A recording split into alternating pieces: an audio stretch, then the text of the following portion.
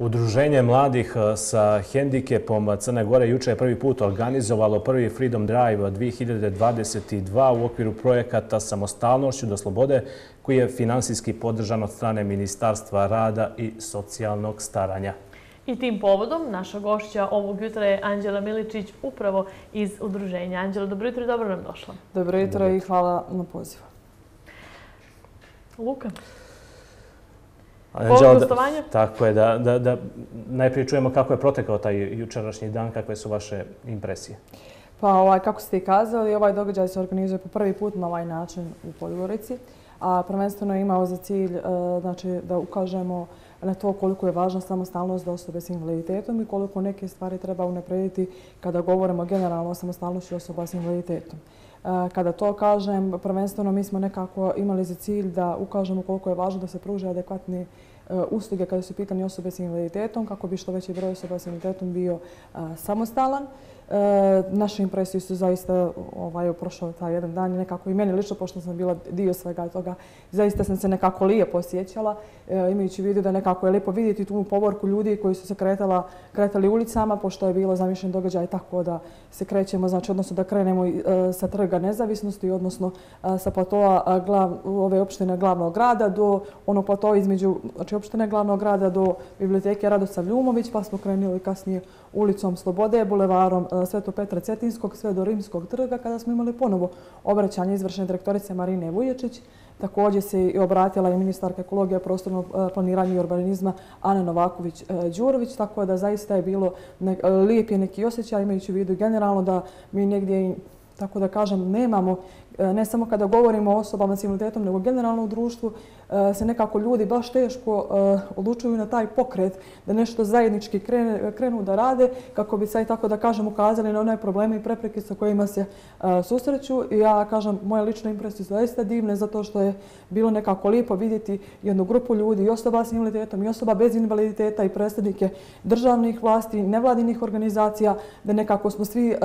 u jednom tom cilju znači, koji se odnosi na samo samostalnost i podršku samostalnosti za osobe s invaliditetom, da smo ti, e, svi tu sa jednim ciljem e, da podržimo tu jednu zajedničku ideju i jedan ovakav događaj. Kada govorimo o projektu samostalnošću do slobode, da podsjetimo koji je cilj tog e, projekta i da li i koje će sve faze projekta biti u narednom periodu?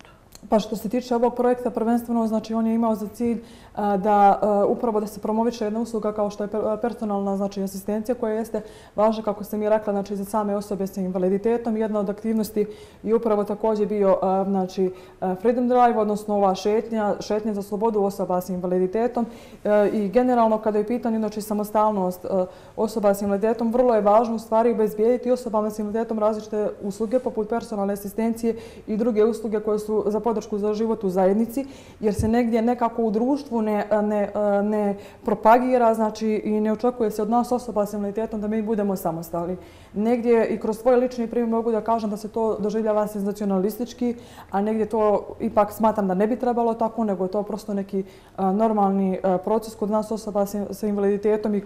kod osoba bez invaliditeta, a nekako sam generalno svjedočila kroz neke različite aktivnosti da je to nažalost u Crnoj Gori, pričam sad generalno, E, ovaj, se to dešava jako kasno.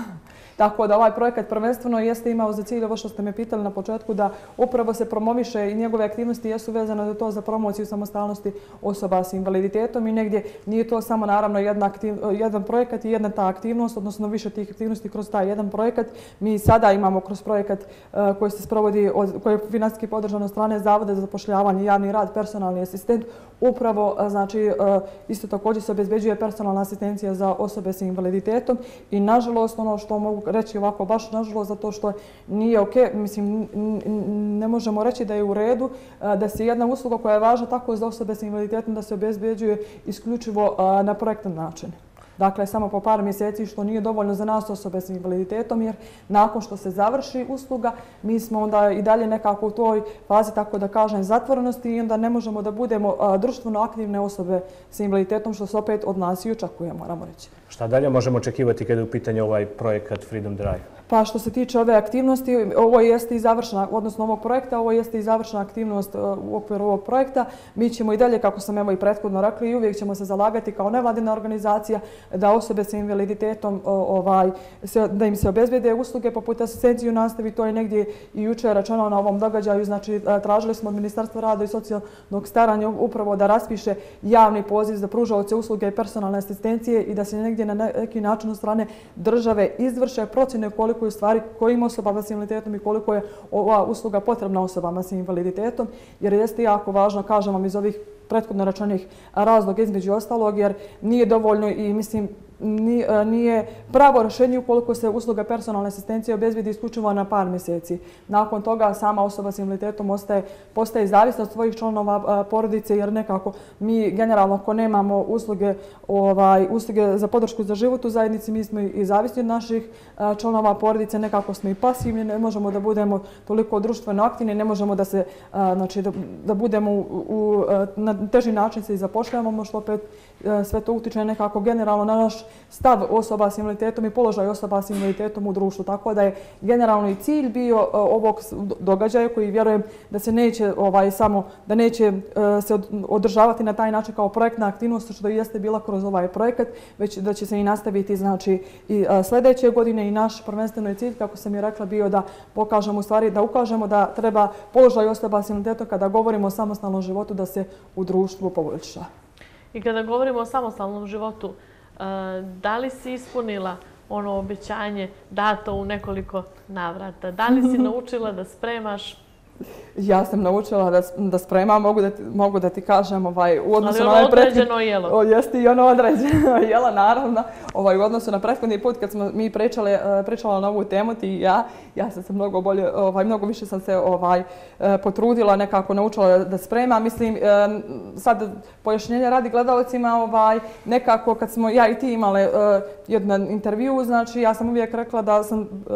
bila nekako zadovoljna na neki način i iznenađena što si me pitala, pitanje koje si me pitala, između ostalog je bilo da li ti Anđela spremaš, jer mene niko ni, nikad nije pitao to, nego ljudi uvijek e, polaze od pretpostavke da mi nešto ne možemo. Znači, niko me nije pitao da li ti spremaš, kako ti, kako ti provodiš svoje vrijeme, kako, ne znam, kako funkcionišeš u stanu. Mislim, sad već posle ovoliko vremena, pošto je prošlo vrijeme, malo više, već dvije, tri godine, kako, odnosno tri godine kako živim u Podgorici, ono na početku je bilo da li tebi majka dolazi, dolazi kući, da ti sprema kući, da ti čisti, tako to. Ja moram reći da koristim i samu uslugu personalne asistencije i da sa tog aspekta kao osoba s invaliditetom jeste meni zaista značajna i vjerujem i drugim osobama s invaliditetom. I negdje ovo kako smo, evo, nadovezit ću se na tvoje pitanje, ovaj, ljudi generalno u društvu polaze od toga da imaju niska očekivanja od nas osoba s invaliditetom i negdje možda se nekad i ustručavaju nešto da nas pitaju iz nekog straha, a ja sam uvijek pozivala, makar kad ljudi razgovaraju sa mnom, uvijek kažem slobodno bolje ide pitate, mislim ono, nema nekog pogrešnog, eh, što se kaže, ono, nema nekog glupog pitanja. On, ja sam uvijek u tom smislu bila otvorena da razgovaram i nekako eh, uvijek kažem da je to nešto što je dobro. Znači, treba ljudi sve da nas pitaju, ja prosto i mi smo, mi živimo život kao i svi drugi, naravno, samo što je to ljudi generalno u društvu imaju, kažem, niska očekivanja od nas i uvijek nekako, ono, nisu, mislim, i dovoljno upoznati kako same osobe s invaliditetom funkcionišu, pa možda i zbog toga imaju tu određenu vrstu straha. A to posebno jelo je raštan, znaš. Pa u slučaju da voliš raštan, da vidimo kad će nas Anđela pozvati. I negdje su ovo zapravo dobri primjeri kako osobe sa invaliditetom funkcionišu same i upravo negdje e, dobar pokazatelj za projekat samostalnošću da, do slobode. Da, da, da. Pa za, za našu slobodu je generalno važna samostalnost i negdje i ove usluge, kao što sam rekli juče, je bio, moram reći, jedan moj omiljeni transparent je bilo personalna asistencija i naša egzistencija, tako da i to stvarno jeste ovaj zato što uvijek evo i sad ovom prilikom kažem da da je važno i da bih željela naravno da se ona riješi na neki drugačiji način da se drugačije finansira da je podrška u tom smislu vrlo je važno uključivanje znači države. Moram na, u tom smislu znači moram napomenuti također da je samo jedna osoba sa invaliditetom ostvarila znači e, pravo na asistenciju u, u, ovaj tako što se uključila znači kroz saradnju sa centrom za socijalni rad zato što je prethodno znači tužila državu jer nije ostvarila pravo na asistenciju e, što opet kažem nije dovoljno tako da i samim tim e, u tom smislu osobe s invaliditetom treba iskoristila bih naravno e, priliku da ih pozovem da podnesu pravo, pravo znači, na e, zahtjev, tačnije na personalnu asistenciju, tako da je to jedna vrlo važna usluga za sve nas jer je postiče nas da budemo samostalni i da mi sami donosimo odluke, da imamo pravo izbora, da imamo pravo e, e, znači, na kontrolu, pravo na grešku, što apsolutno znači, svakome se dešava, a negdje mi kada smo zavisi od naših članova porodice, onda ono uvijek imamo u toj situaciji da će neko drugi e, bolje da radi neke stvari od nas i gdje mi nekako nećemo ni biti u mogućnosti da nekako procenimo kakve su naše mogućnosti, šta mi možemo da radimo, šta ne možemo da radimo. Tako da je negdje samostalnosti generalno, ono, vi sami odlučujete o svom životu, to je jako važno za nas osobe sa invaliditetom, jer negdje, opet kažem, niti to neko kad smo, ono, kad, kad smo mali, tako da kažem, to niko od nas e, ne očekuje. Opet, sa druge strane, je vrlo važno, pošto ne mali broj osoba sa invaliditetom postoji u Crnoj Gori, negdje i kroz ovaj događaj koji što kao što je juče bio, jeste prvenstveno da je važno da osobe sa invaliditetom e, donose odluke i da je važno da osobe s invaliditetom kao, e, osamost, kao kada, u onoj situaciji kada su samostalni, oni mogu da budu da utiču, da kreiraju svoje politike, da, uči, da utiču na kreiranje politika, da se ne bi u stvari dešavalo u situacijama nekim da one stvari koje se tiču nas kao osoba s imunitetom, da to negdje drugi odlučuju umjesto nas. I to mislim da nije dobro i zato je vrlo važno i opet ovaj događaj sa aspekta nas kao osoba s invaliditetom da je važno da mi budemo informisani, da učimo o svojim pravima i negdje da se borimo za svoja prava, da opet, opet kažem da ne bude samo slučaj i situacija da je juče ova aktivnost, znači što jeste bila aktivnost projekta, kako smo i kazali, da se to samo dešava juče i da je sa tim završeno. Ja opet želim i vjerujem znači da sljedeće godine nas očekuje jedan isti ovakav događaj. Naravno, juče je bio veliki broj stvarno i e, predstavnika iz državne strukture i nevladinih organizacija i veliki broj medija i ovim, ovim putem se i vama zahvaljujem e, na pozivu, tako da vjerujem da ćemo se samo sljedeće godine naći na onom istom e, ovaj, mjestu u još većem broju, naravno. Anđela, hvala puno na ovom razgovoru. Definitivno razbijaš sve predrasude i svaka ti časna na tome. Ovaj raštan kad bude, Tina i ja,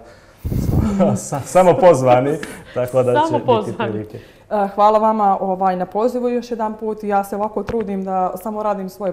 postove, ali svakako se zahvaljujem vama eh, na lijepim riječima. Što se tiče Raštana, evo ja obećam vam javno sljedeći put ja donosim ovaj eh, Raštan za cijelu ekipu televizije 7. Hvala vam puno. Onda će ti trebati malo veća šerpa. Donosim lanac. Svi smo korpulentni. Anđela, hvala ti još jednom.